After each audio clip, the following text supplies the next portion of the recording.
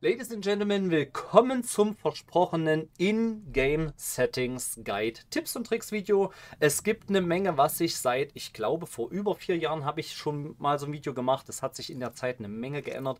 Auch gerade in Season 19 gibt es ein paar andere Settings. Ich möchte speziell über Audio-Settings, Video-Settings und Gameplay-Settings reden. Controller-Settings habe ich vor kurzem erst ein Video gemacht, kam sehr, sehr gut an, ist sehr umfangreich mit Reaktionskurven, erweiterte Blickfeldsteuerung und so weiter und so fort fort. Deswegen ist das getrennt von diesem Video und hier kann man jetzt eine Menge einstellen, was ingame technisch euch auf jeden Fall eine Menge bietet, was euch weiterhilft, was vielleicht den ein oder anderen Gunfight zusätzlich gewinnen lässt, bessere Optik, bessere Sicht und so weiter und so fort. Doch bevor es losgeht, ganz kurz, wir sind in der Aim Controllers Black Friday Week. Dort gibt es solche wunderschönen Controller mit Pedals, mit Smart Trigger oder wir betätigen diese Taste, kannst du wieder voll durchdrücken und so weiter für Burstwaffen, Einzelschusswaffen, G7, Hemlock und so weiter. Sehr, sehr von Vorteil. Jetpack-Steuerung für Valkyrie und was wir nicht alles mit so einem Controller machen können. 70 Euro Rabatt Black Weeks. Jetzt, wenn ihr zum Ende von November dieses Video seht, gibt es 70 Euro Rabatt mit Code Casper10. Kann ich euch nur wärmstens ans Herz legen. Viele haben da schon zugegriffen. Danke für den Support dafür. Und wir legen jetzt direkt mal los. Habe ich echt Packet Lost in der Trainingsarena? Das ist ja geil. So, wir fangen an. Ich gehe ein bisschen durcheinander. Das Gameplay machen wir ganz zum Schluss. Controller lassen wir komplett komplett raus. Wir fangen mit den Video-Settings an. Da sind nämlich Settings dabei, die viele von euch gar nicht auf dem Schirm haben, die standardmäßig aber aktiv sind, die ich an eurer Stelle definitiv ausschalten wollen würde. Und zwar fangen wir mal mit dem hier an. SF Fähigkeitsskalierung. Ich aktiviere jetzt mal und ich bin bewusst hier im Trainingsgelände. Ich habe ein bisschen Sticktrift. Ihr guckt mal so ein bisschen an links und rechts an Rand diese LED-Leisten und jetzt aktiviere ich die Fähigkeit von Octane. Das ist nämlich einer der wichtigsten Octane-Settings, die ihr deaktivieren solltet. Und ihr seht, das Sichtfeld bei Aktivierung springt extrem nach hinten und ihr habt erstmal wahrscheinlich ein 120er Sichtfeld. Das können wir auch einfach mal testen, indem ich das auf 100 Ach ne, 110 ist das Maximale. Das ist sogar weiter weg. Dann könnte 120 ja passen. Ähm, deaktiviert das. Ups. Jetzt habe ich es übernommen. Das dürft ihr auch nicht vergessen. Wenn ihr das einschaltet, müsst ihr das mit Dreieck auf der Playstation noch aktivieren. Jetzt aktiviere ich die Fähigkeit wieder und es passiert nichts. Das heißt, wenn ihr im Fight das vielleicht mal irgendwie aktiviert, habt ihr keine Sichtfeldverzerrung. Das wäre das erste Sichtfeld. 70 ist das geringste. Ihr seht, wie nah das ranzoomt. Dadurch seht ihr den Gegner größer und besser. Aber ihr seht nicht, was links und rechts neben euch passiert. Jetzt mache ich mal maximal 110 und ihr seht, das zoomt extrem weit raus.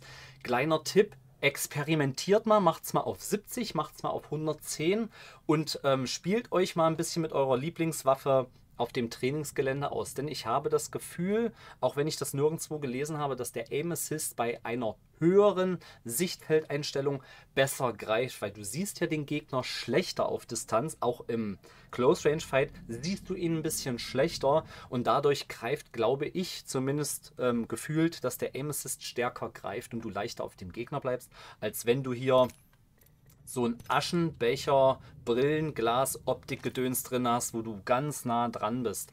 Also ich habe es so auf 100, 100, ja, auf 100 kann man es machen, ist meine Meinung. Und was wir auch noch machen können, das ist normalerweise Sprint, Sichtfeldzittern ist auf normal.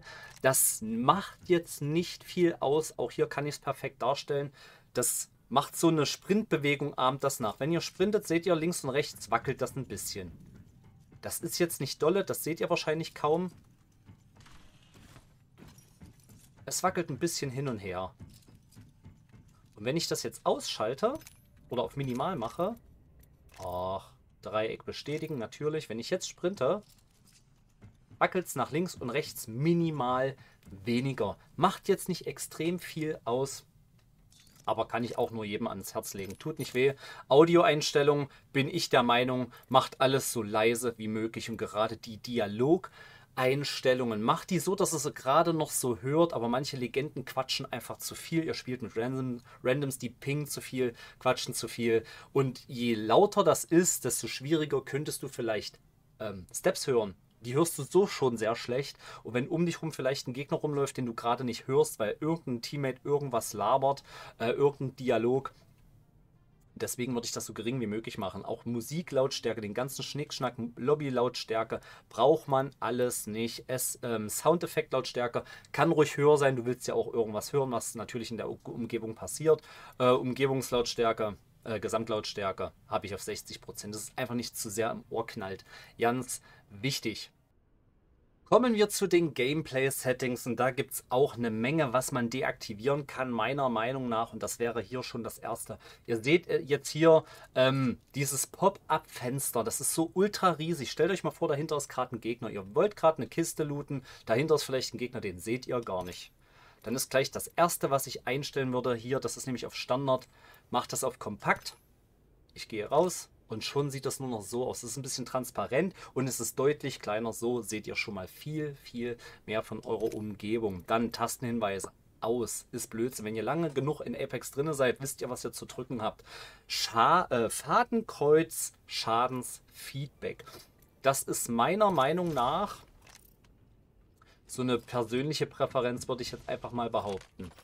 Ich würde es komplett ausmachen. Wenn ich jetzt hier auf den Gegner schieße, seht ihr hier ähm, direkt im Iron Fight dieses rote ähm, Fadenkreuz aufblinken. Wenn der Gegner tot ist, wird das rot. Achtung, jetzt ist es rot und ihr habt gemerkt, der Gegner ist down.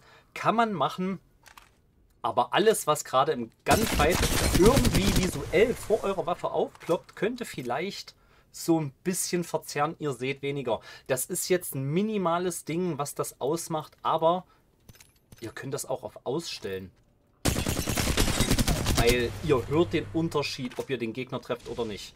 Wenn ich jetzt mal hier...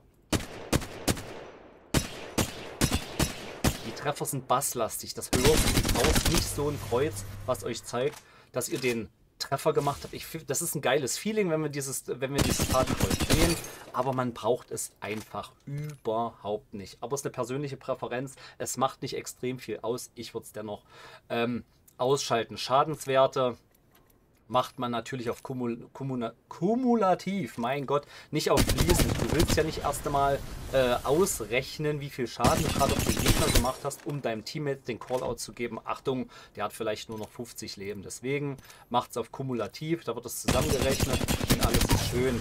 Was man ausstellen kann, man kann es natürlich auch komplett ausschalten. Ist auch okay. Testet einfach mal aus das für euch besser ist, aber die Callouts funktionieren halt nicht. Ich würde es auf kumulativ machen. Ähm, Moment, irgendwo war noch... Achso, das war hier. Man kann hier bei Fadenkreuz Schadensfeedback, kann man auch noch eins einstellen. Man sieht das Körperschild rechts neben der Zahl, was der Gegner für ein Schild hat. Rot. Kann man sich aber sparen, das wollte ich auch noch dazu sagen, wenn du nur X hast. Denn schaut auf die Zahlen, auf die Farben der Zahlen. Da seht ihr auch, was der für ein einen Buddy hat. War gerade ein blödes Beispiel, weil der Hallo geschossen hat. Ihr seht diese Zahl jetzt rot leuchten. Jetzt war sie etwas rot-gelb, weil ich einen kritischen Treffer gemacht habe. Und wenn die nur noch so äh, im Innenbereich der Zahl weiß leuchtet, heißt es, er hat kein Körperschild mehr. Könnte man jetzt auch machen. Aber alleine für die Optik ist wahrscheinlich das das Sinnvollste für alle.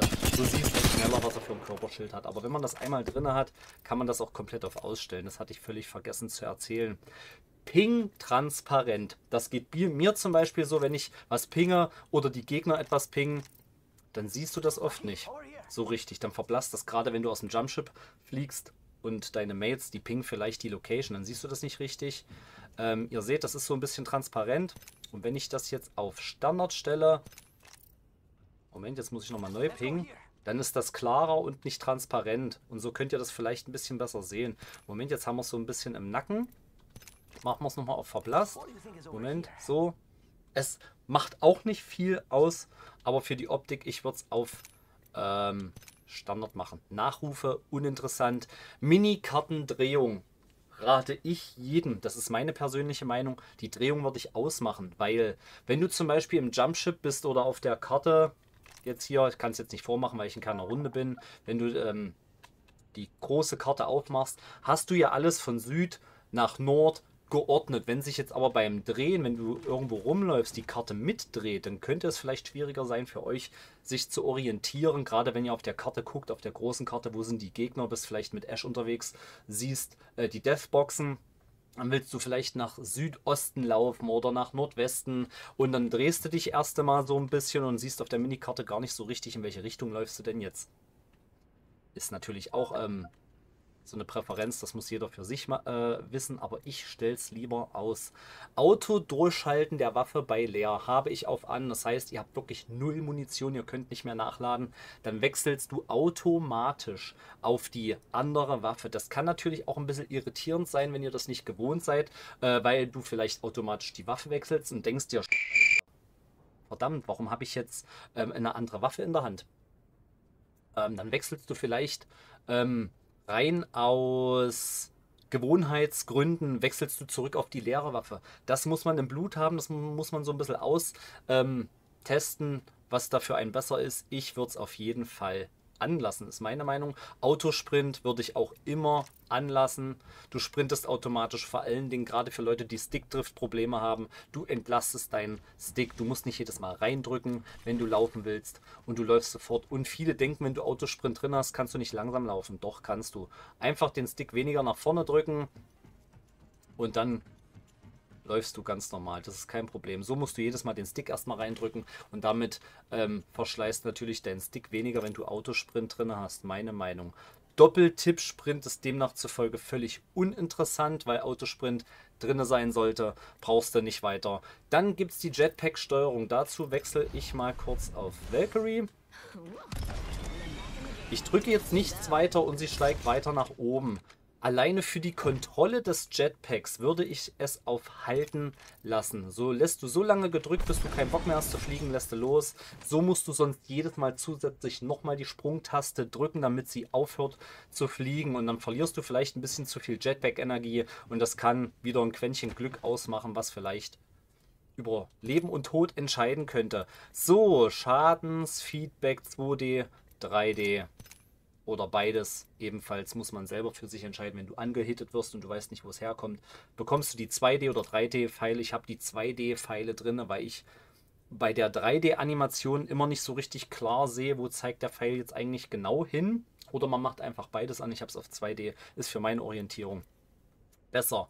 Erlittener Schaden schließt Todeskiste, sollte unbedingt aus sein, denn wer in einem Gunfight vielleicht eine, Schild, einen Schildswap machen will, du willst jetzt hier auf ein Schild wechseln, bist gerade dabei zu drücken, auf einmal wirst du angehittet. Wenn du das auf an hast, wird die Todeskiste geschlossen, du kannst den Schildswap vielleicht nicht schnell genug machen und schon fliegst du wieder aus der Deathbox. Deswegen, das ist einer der wichtigsten Einstellungen überhaupt. Boah, mich nervt das, dass das jedes Mal, wenn du aus dem Menü rausgehst, wieder von vorne anfängt. Deswegen muss ich jetzt erstmal gucken, wo war ich?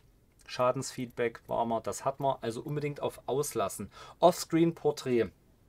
Das ist eine Neuerung in Season 19. Ich zeige euch kurz Gameplay, damit ich das verdeutlichen kann. Das sind die Porträts, wenn du gerade deine Teammates nicht auf deinem Bildschirm hast, sondern irgendwo hinter dir sind, dann hast du die Porträts, siehst du einfacher zur Orientierung, finde ich eine positive Neuerung.